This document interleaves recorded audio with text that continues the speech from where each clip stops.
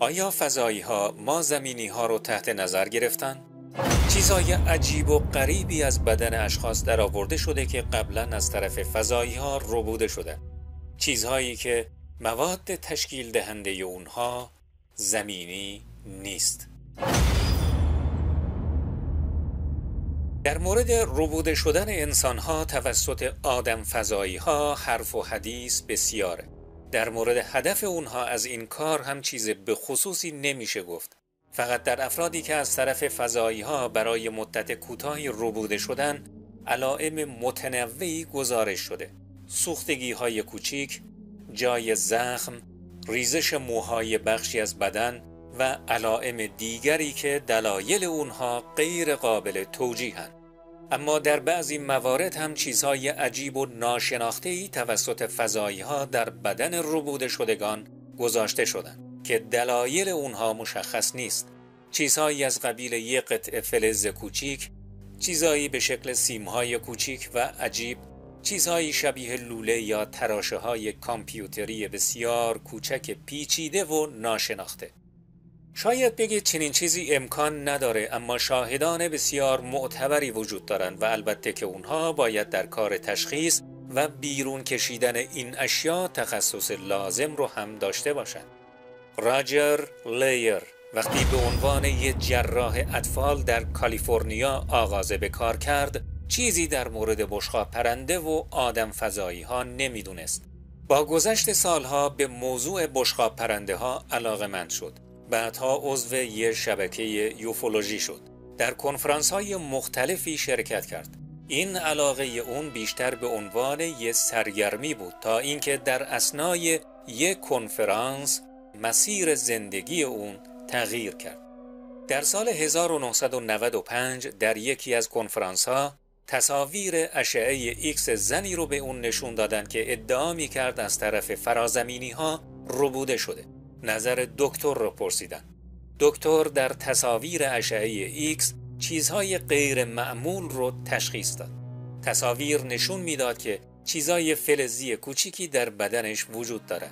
دکتر راجر لیر بسیار کنجکاو شد و از اونجا که یه جراح بود مدتی بعد اون اشیا رو از بدن زن بیرون کشید. دو جسم فلزی ریز بیرون آورده شد. جنس یکی از اونها از آلومینیوم و دیگری از جنس نوعی فلز بود که فقط در شهاب ها دیده شده بود. در محلی که این اجسام قرار داشتند هیچ جای زخم یا التهاب یا خراش یا حتی نشانه ای از واکنش بدن نسبت به اون جسم وجود نداشت. اونها چگونه داخل بدن زن کار گذاشته شده بودند و چی هستند؟ دکتر راجر متعجب شده بود و تعجب اون موقعی بیشتر شد که از یه نفر دیگه همچنین چیزهایی رو بیرون آورد. فهمید که یه جریان خیلی عجیبی در حال روی دادنه. تصمیم گرفت تا به طور جدی در این باره تحقیق کنه. به همین منظور بران شد تا یه مرکز تحقیقاتی غیر انتفاعی ویژه به نام A&S Research رو راه اندازی کنه. بنا به عقیده دکتر لیر اجسام ریزی که از بدن افراد ربوده شده توسط فضایی پیدا میشن واقعا عجیبن. مواد تشکیل دهنده بعضی از اونها از نوع بسیار نادر زمینی و جنس بعضی دیگه هم از مواد غیر زمینی بودن. این اجسام بعضا به شکل کریستال، گلوله های نانوکربن، سیم های نانوکربن و غیره بودند که پوشش روغنی سختی داشتند. این پوشش باعث می شد تا جسم از طرف بدن شخص با عدم پذیرش مواجه نشه. گفته شده که این اجسام خاصیت الکترومغناطیسی خاصی از خودشون تولید می‌کنن و حتی وقتی از بدن شخصی درآورده میشن هم به اون ادامه میدن. همچنین ادعا میشه که بعضی از اون اجسام در باند FM امواج رادیویی رو در فرکانس های عمیق فضایی منتشر می‌کنن. دکتر راجر لیر همچنین مشاهده کرد که وقتی شخصی برای درآورده شدن اون اجسام مورد جراحی قرار می‌گیره اونها درون بدن جابجا جا میشن. این اجسام بسیار مقاوم هستند و دکتر از امکاناتی مثل لیزر برای برش دادن اونها استفاده کرد. بنا به اظهاراتش بعضا پس از برش داده شدن هم دوباره ذرات اون جسم جمع و خودشون رو ترمیم کردن دکتر راجر لیر در یکی از مقالات خودش که در مجله ایکس نیوز به چاپ رسیده چنین نوشته پرونده شماره 15 در مورد مردی متأهل بود که پدر چند فرزند خردسال بود و در کالیفرنیای جنوبی زندگی می کرد. او و خانوادهش سابقه طولانی در ربوده شدن توسط فرازمینی ها داشتند. یک روز صبح با احساس درد در ناحیه انگشت پا بیدار شد و چند لکه کوچک خون هم در رخت خوابش دید. به عنوان یک بیمار معمولی وقت معاینه گرفته بود. جریان ربوده شدن خود توسط فضایی ها را از همه کس پنهان کرده بود. آن مرد در مطب گفت که مرا در تلویزیون دیده و حرفهایم را شنیده بود.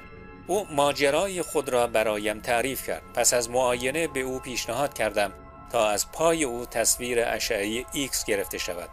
تصویر برداری انجام شد و وجود یک جسم فلزی در پای او تشخیص داده شد. هیچ جای بریدگی یا خونریزی وجود نداشت. به دلیل اینکه کمی اذیت می‌شد گفته شد تا آن جسم از پای او بیرون آورده شود در معاینه بعدی او ماجراهایی از روبوده شدن خود توسط فرازمینی ها و دلیل انتخاب من به عنوان پزشک متخصص خودش را برایم تعریف کرد. یک نسخه از پرسشنامه جامع به او داده شد و گفته شد که پس از پر کردن آن را به ما تحویل بدهد. پس از آن برای جراحی پای او برنامه ریزی شد. به هنگام جراحی یکی از اجسام به چند قطعه مجزا تقسیم شد و درون قوطی گذاشته شد. سه روز بعد قطعات درون قوطی را بررسی کردم. همه آنها در یک جهت همانند یک خط موازی قرار گرفته بودند. درب قوطی را بستم، تکان دادم و گذاشتم. پانزده دقیقه بعد دوباره آنها را باز کردم و مشاهده کردم که آنها دوباره در یک جهت قرار گرفتند. طوری که انگار در یک خط قرار گرفتند. اپراتور فیلم برداری را صدا زدم و از این حرکت قطعات چندین بار فیلم برداری کردیم. هیچ توضیحی برای این رفتار آنها نداشتیم. چیزی که خیلی مایه تعجبه اینه که بعضا این اجسام به مدت دهها سال در بدن اشخاص قرار داشتند.